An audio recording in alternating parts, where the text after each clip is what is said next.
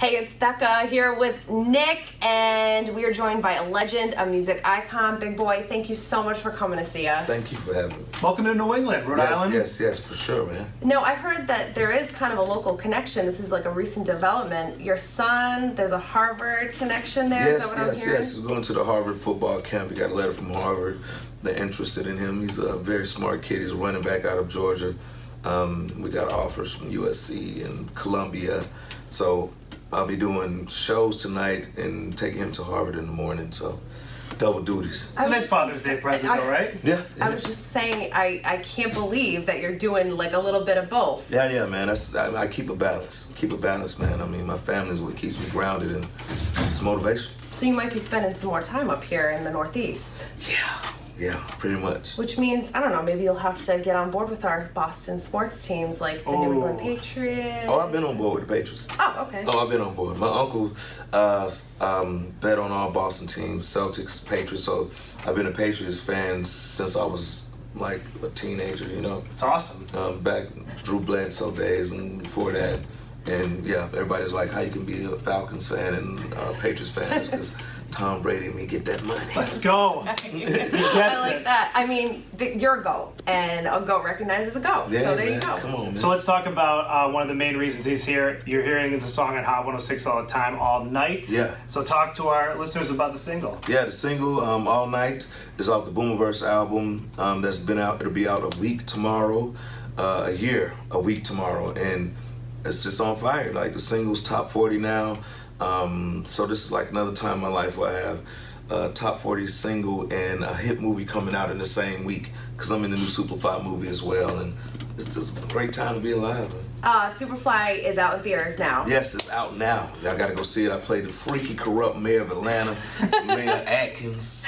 We, we a wild boy in it out there, so it's, it's pretty wild. This is a remake, right? The- It's, they call it a reimagine, you know what I Okay. mean? or remix, but it's it's dope. I mean, it lives up to the name, and um, it's it's a modern day version of it. I mean, it's, it's more like a New Jack City meets Scarface. It's it's good. So you're someone who has acted in a bunch of movies, but you pick what you act in pretty carefully. Why did you want to be involved in this project? Well, the director, Director X, called me and he was like, um, "How would you like to play the mayor of Atlanta? I think it suits you, like, cause I mean that's your town." I was like, "Hell yeah!" I was on tour in Canada.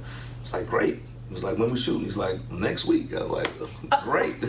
so as soon as I got home, I went, you know, got into character and had to pull down from my deep, seedy side to pull him out. I was a real slime ball mayor.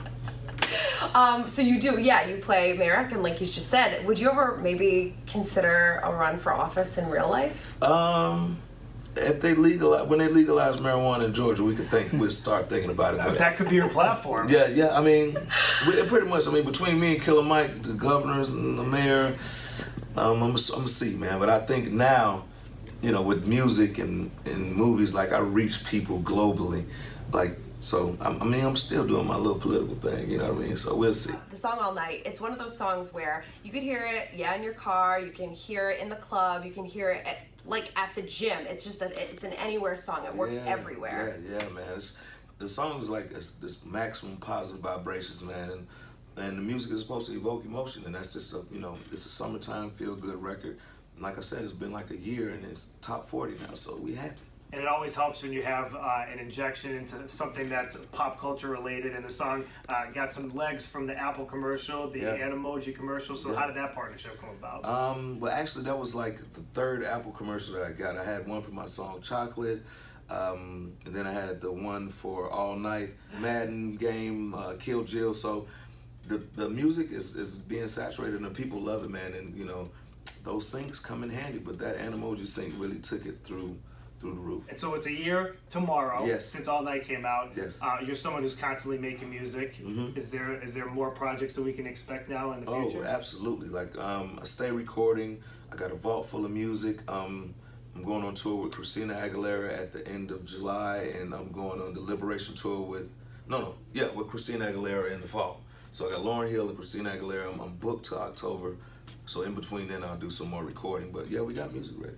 And you've been out touring. Uh, What have those uh, performances been been like in back on It's stage? been crazy, man. I've done like four tours so far. I did West Coast, I did the East Coast, I did just did the Southeast. I went to Australia, New Zealand, and it's just getting bigger and bigger. Campaigning.